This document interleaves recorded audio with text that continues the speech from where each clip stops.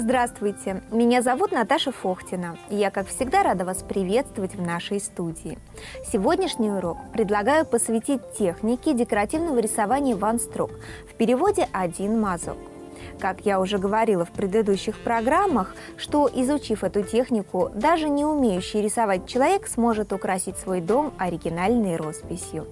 Единственным условием для этого не умеющего рисовать человека является только то, что ему необходимо научить руку двигаться так, как надо, то есть запомнить основные правила нанесения краски на изделие и освоить схемы рисования простейших элементов, используемых в этой росписи. В общем-то, задача эта непростая, но вполне посильная. А если краски и кисти всегда будут у вас под рукой, и вы изредка будете тренироваться, то в скором времени начнете получать большое удовольствие от работы. Я в этом абсолютно уверена. А сегодня я решила как-то разнообразить наше обучение и вас порадовать, показав, как можно нарисовать тагильскую розу. Вот такой волшебный цветок. Он довольно сложен, поскольку состоит из множества деталей. Но если их последовательно разобрать, то, в общем-то, и с этой работой справиться вполне можно.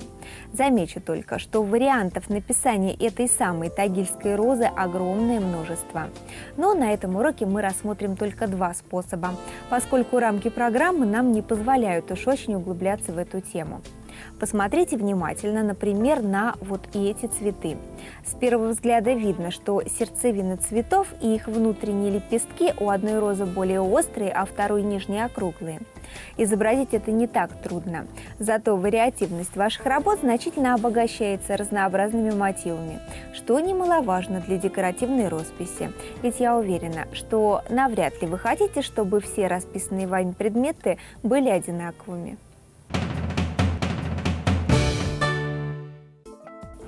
Рассмотрим первую розу. Она состоит у нас из нижнего яруса лепестков, которые составляют одну треть от всего цветка. Их три. Вообще я вам рекомендую, прежде начать рисовать тагильскую розу, начертить круг, лучше воображаемый, и вписывать в него все элементы. Тогда рисунок будет пропорционально гармоничным. Итак, две трети нашего круга занимает верхняя часть цветка. Она состоит из шести боковых лепестков и сердцевины, которые мы можем тоже разобрать на основной лепесток, венчик, состоящий из верхнего и нижнего лепестка, ну и шесть лепестков вот таких острых завершают нашу конструкцию. Конструкцию сложную, на мой взгляд, но очень симпатичную.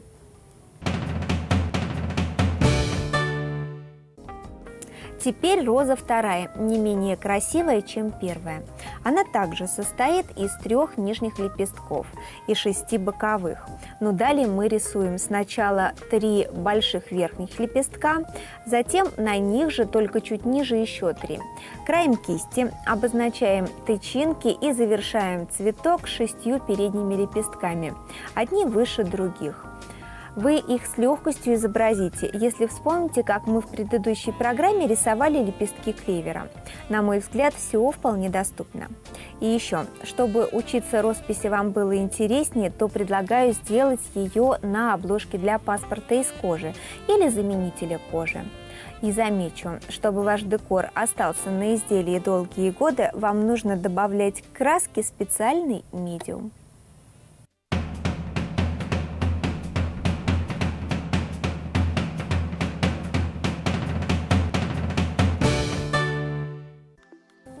От теории переходим к практике. Приготовим для работы акриловые краски фиолетовую, розовую и белую, синтетические кисти плоские номер 10, 13 и 15, ну и тонкий лайнер для украшения росписи хотя его вы вполне можете заменить и тюбиком с белым объемным контуром. С ним изображение будет замечательно смотреться.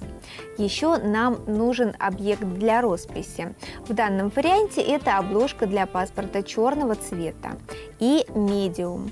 Я использую на коже медиум по ткани и могу дать ему только положительные рекомендации.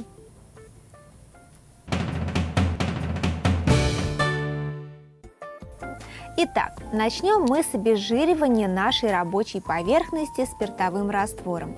Условие это необходимое, поскольку наверняка вам хочется, чтобы краски остались на изделии даже после того, как вы их туда нанесете. Далее, можете сразу же приступать к росписи, если представляете от начала и до конца, как должна в итоге выглядеть ваша композиция.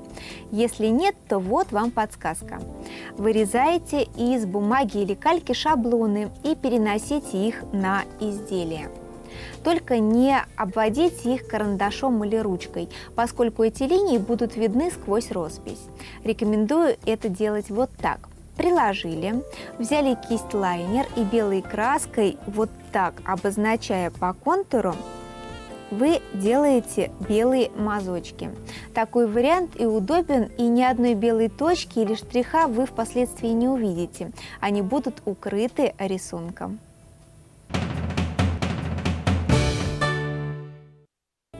Контур розы у нас есть, и мы можем переходить к его заполнению. Берем палитру с тремя цветами акриловых красок и на нее же наливаем медиум по ткани. Надеюсь, вы не забыли, что мы работаем с кожей, он нам здесь необходим. Далее мы берем кисть номер 13 и загружаем ее фиолетовой краской с одной стороны и розовой с другой. Растушевываем кисть на палитре вот таким образом. Добавляем на розовый край кисти немного белого цвета, опять растушевываем, окунаем кисть в медиум, делаем последнее движение по палитре и начинаем рисовать центральный нижний лепесток. Вот так.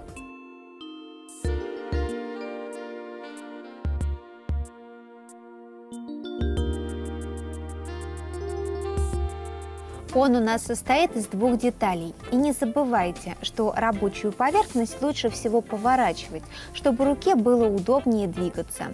Ведь бегать вокруг стола – утомительное занятие. Я всегда советую обходиться в работе без лишних трудностей.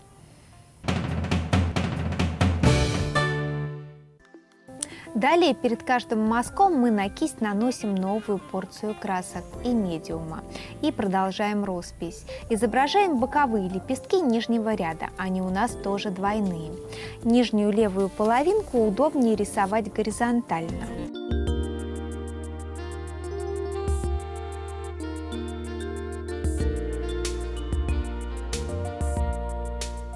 а верхнюю развернув изделие вертикально.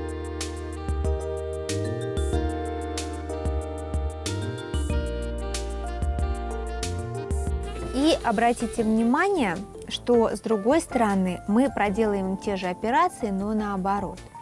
И еще хочу сказать, что эта группа из трех лепестков должна заполнить только одну треть от всего цветка.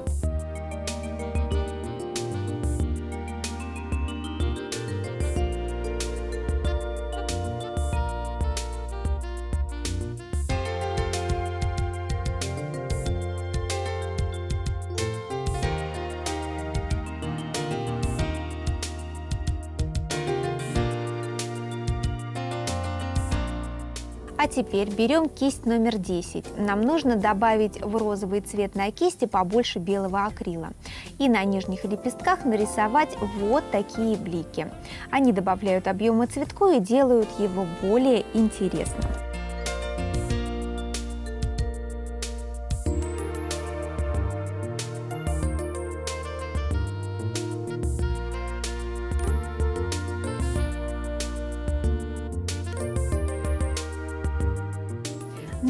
Можем переходить к лепесткам боковым. Мы рисуем 3 слева и 3 справа кистью номер 13. Краски на кисти только розовая и фиолетовая, без белой. Кстати, если у вас есть контур от шаблона на изделии, то работать вам будет очень просто. Рисуем вот так. Второй лепесток на первый и третий на второй.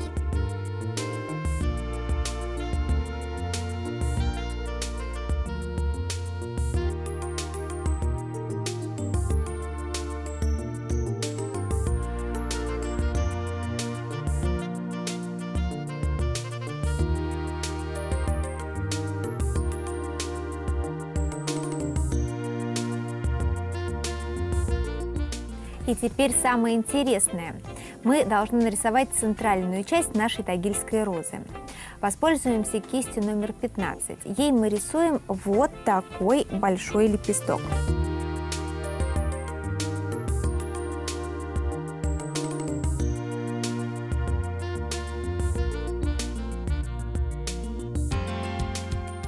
Розовую краску мы добавляем немного белой, чтобы этот фрагмент не слился с боковыми деталями цветка. А далее опять берем кисть номер 13 и выводим чашечку розы. Она состоит из двух деталей, верхней и нижней.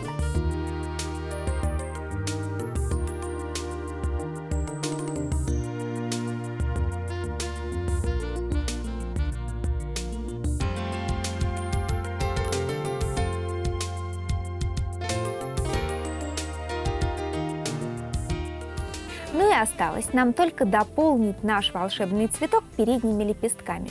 Они идут у нас в три яруса. Советую, кстати, добавить побольше белой краски к розовой, чтобы они выделялись. И кисть взять поменьше, например, номер 10.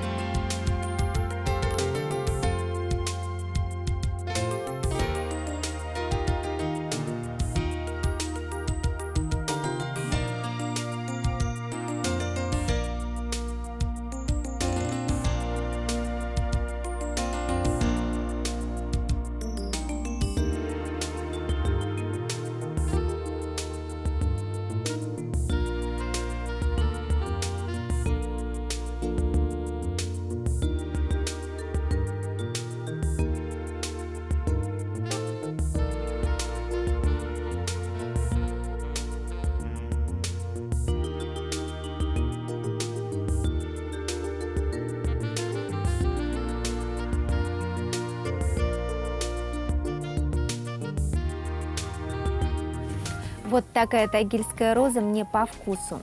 Осталось ее только оживить белой краской с помощью тонкой кисти или объемным белым контуром, а вокруг фон нее украсить листьями и маленькими цветочками.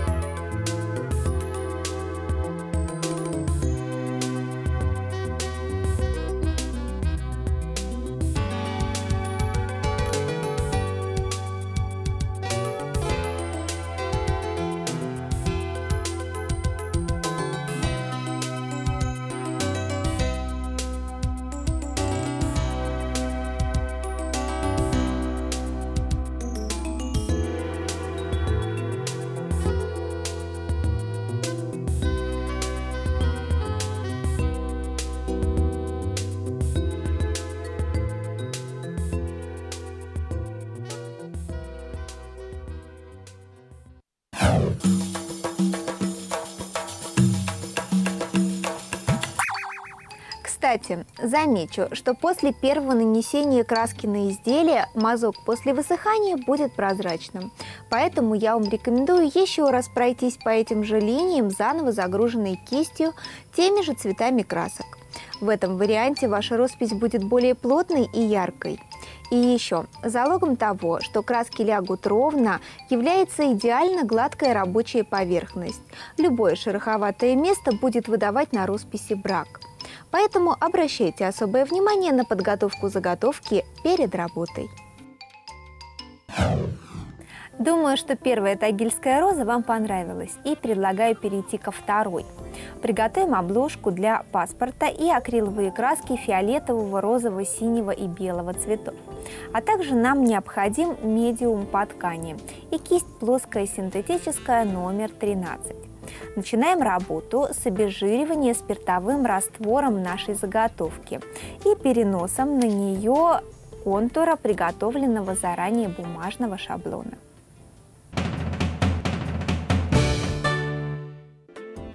Как и в первом варианте, нам нужно изобразить сначала три нижних лепестка. Центральный мы изображаем, набрав на кисть синюю и фиолетовую с добавлением белой краску. Растушевываем кисть на палитре, добавляем медиум и приступаем к росписи. Замечу, что нижние боковые половинки мы наносим в том же цвете, а верхние рисуем кистью, загруженной красками без добавления белого акрила.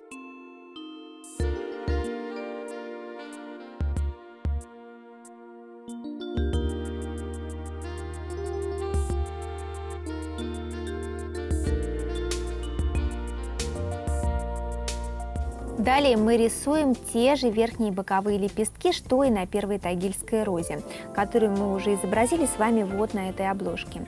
И еще напомню, что при росписи поворачивайте работу, чтобы руке было удобнее. Тогда и мазки у вас будут получаться уверенными и четкими.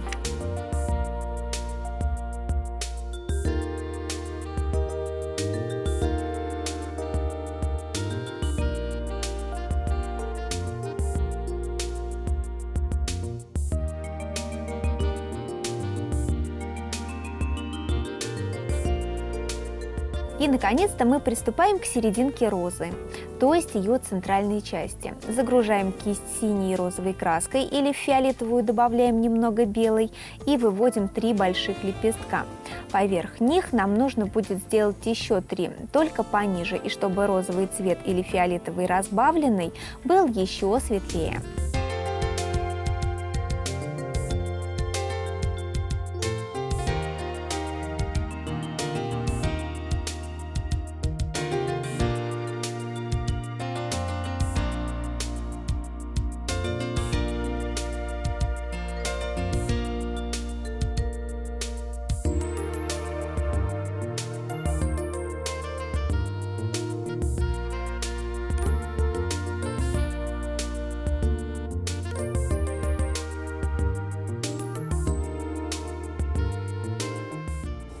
А далее нам нужно изобразить тычинки.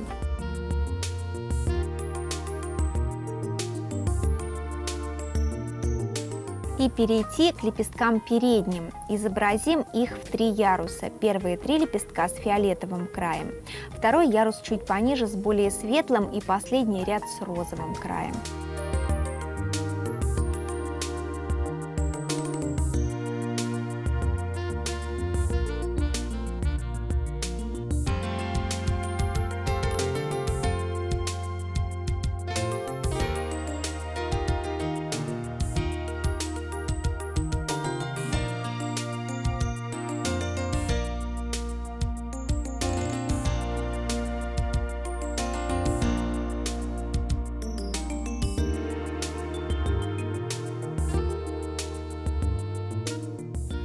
Ну и тем же сочетанием цветов, что и на центральных нижних лепестках, мы на нижних трех лепестках нашей тагильской розы делаем блики.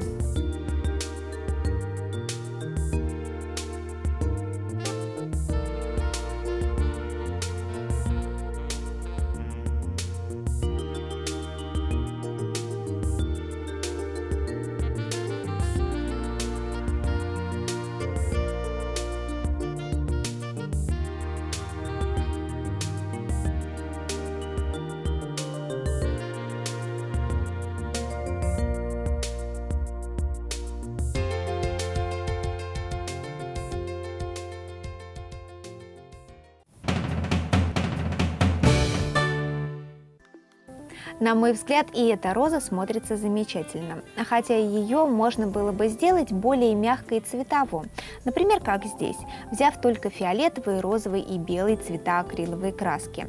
Но это все на ваш вкус, как и то, каким образом вы заполните фон изделия, только листьями или добавите цветочков, таких, как у меня.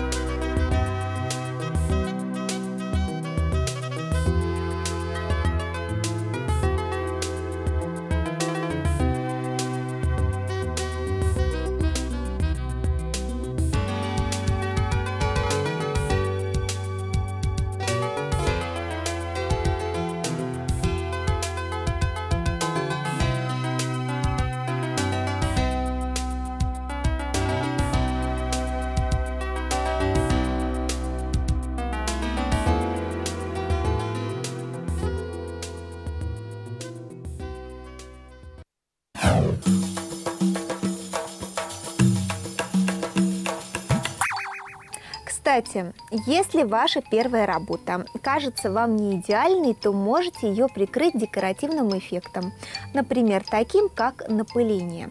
Многим он еще знаком со школы, когда, делая стенгазеты, мы наносили на зубную щетку краску и разбрызгивали ее. Попробуйте, может с таким декором ваше изделие будет вас радовать гораздо больше. И замечу, что если на фон изделия перед росписью нанести такие капли, то вещица может в итоге получиться очень интересной. Ну и мне кажется, что на сегодня вам вполне достаточно информации о том, что же такое из себя представляет эта волшебная тагильская роза. Мы сегодня рассмотрели только два варианта, как она может выглядеть, и сделали две вот таких замечательных обложки для паспорта. Но на просторах интернета вы сможете найти и другие образцы. Самое главное, что научившись основным приемам, вы с легкостью сможете освоить любой подобный цветок. И замечу, что сможете это даже сделать на коже, ведь вы теперь знаете как. И еще хочу напомнить вам о том, что одного урока и пристального наблюдения за работой мастера недостаточно, чтобы научиться декоративной росписи в технике одного мазка. Только после того, как вы будете тренироваться, вы получите твердую и уверенную руку. И вследствие этого чудесные работы, чего я, собственно, вам и желаю. И уверенная в том, что у вас все обязательно получится, прощаюсь с вами до новых идей. С вами была Наташа Фохтина. Всего доброго и до свидания.